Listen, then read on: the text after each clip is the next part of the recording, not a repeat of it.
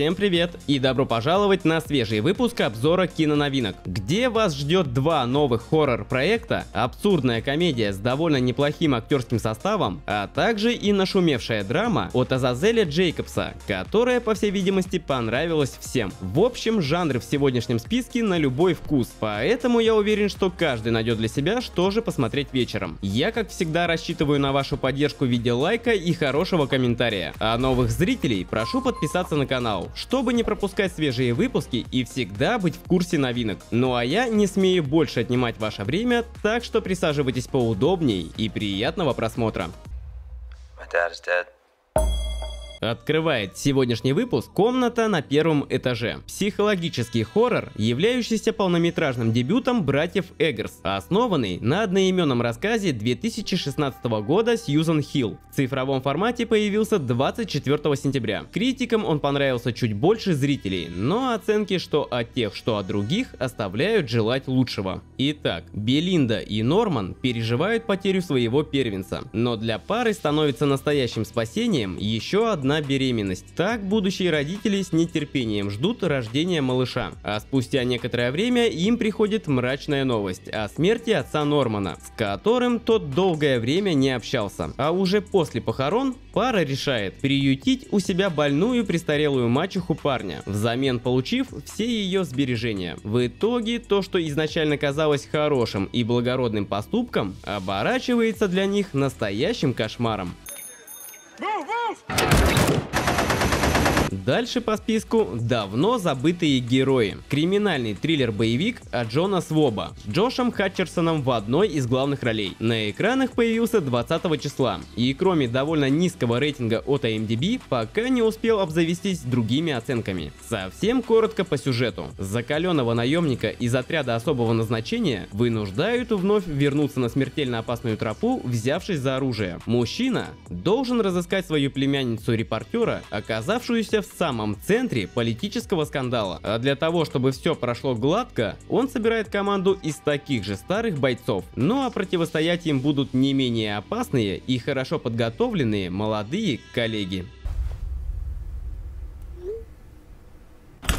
Роковая ошибка. Драматический триллер Эми Редфорд, который впервые был представлен в сентябре 2022 года на Международном кинофестивале в Торонто, а до цифрового релиза для широкого просмотра он добрался относительно недавно. И тут можно заметить, что критики со зрителями солидарны во мнении и выдают ему в дебюте довольно низкие 30 и 43%. А синопсис таков. 16-летняя Анна знакомится на просторах интернета с обаятельным студентом студентом Эриком. Общаясь с ним онлайн, девушка все больше привязывается к парню и в итоге заочно влюбляется в него. А в день рождения героини Эрик делает смелый сюрприз и появляется на пороге ее дома. Тогда-то и становится понятно, что молодой парень уже совсем не парень, а мужчина, который оказывается совсем не тем, за кого себя выдавал. 911, что у вас случилось? Здесь человек в маске. Продолжит сегодняшний выпуск «Ночная смена». Хоррор от Алана Скотта Нила, цифровой релиз которого состоялся 20 сентября, с неплохим процентом от критиков на Rotten Tomatoes, несмотря на его скромный рейтинг от IMDb. Сюжет же расскажет о молодой девушке Нэнси, работающей официанткой в придорожной закусочной, которая расположилась на самой окраине города. В общем, придя на очередную ночную смену, хрупкая героиня внезапно попадает в настоящий кошмар, когда с заходом солнца в заведение пытается ворваться незнакомец в маске. Ну а так как вызвать полицию не получается и помощи ждать неоткуда, Нэнси придется приложить максимум усилий, чтобы пережить эту жуткую ночь. Разбавит наш сегодняшний список «Диван для мамы». Комедийно-драматический фильм, написанный и снятый режиссером Николасом Ларсоном с довольно неплохим актерским составом, основанный на шведском романе «Мама и Софа» от Еркера Виртберга. Премьера также состоялась в сентябре на кинофестивале в Торонто, правда уже в 2023 году. А вот именно в цифровом формате для зрителей стал доступен относительно недавно. И тут тоже с процентами на Rotten Tomatoes от экспертов со зрителями дела обстоят не очень, но могу заметить, что там же есть немало и положительных отзывов. Сюжет. Самый обычный день в забытом богом магазине мебели происходит очень странный случай. Дело в том, что пожилая посетительница, присев на один из выставочных диванов, решает больше не вставать и на отрез отказывается уходить. Так-то и начинается одно из самых страшных испытаний в жизни ее троих уже взрослых детей, которым, несмотря на то, что они терпеть не могут друг друга, все же придется объединиться, чтобы решить эту довольно странную проблему, заодно откровенно поговорив со своей матерью. Петля времени. Фантастическая драма от режиссера-сценариста Бернарда Брито, у которой на основе 31 рецензии имеется неплохая поддержка от критиков на Rotten Tomatoes. Цифровой релиз состоялся 20 сентября, а сюжет расскажет о квантовом физике Зои Лоу, которая умудряется застрять во временной петле. Такие события никак не могут не оставить свой отпечаток на здоровье ученой, вследствие чего из-за этих перемещений во времени внутри у Зои образовывается образуется загадочная черная дыра, которая с каждым днем становится только больше. В итоге главная героиня вместе с одаренной студенткой пытается спасти свою жизнь и разобраться, что на самом деле происходит с ней.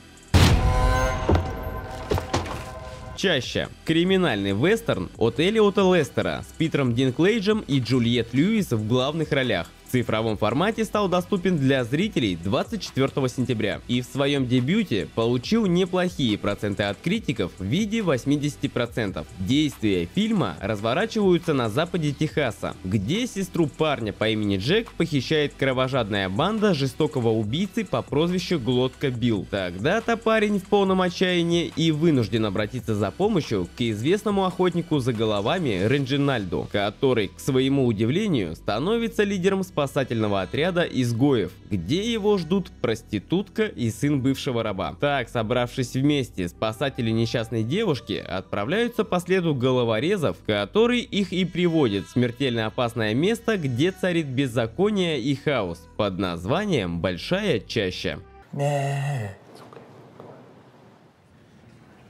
Итак, еще одна комедия в сегодняшнем списке «Между храмами». Фильм режиссера-сценариста Нейтана Сильвера, который стал доступен для просмотра в хорошем качестве также 24 сентября. И в своем дебюте заручился неплохим рейтингом от IMDb и такими же процентами от критиков на Rotten Tomatoes. А вот зрители там же совсем не разделяют такое мнение и выдают цифры куда хуже. Главный герой, мужчина по имени Бен, является певцом в синагоге.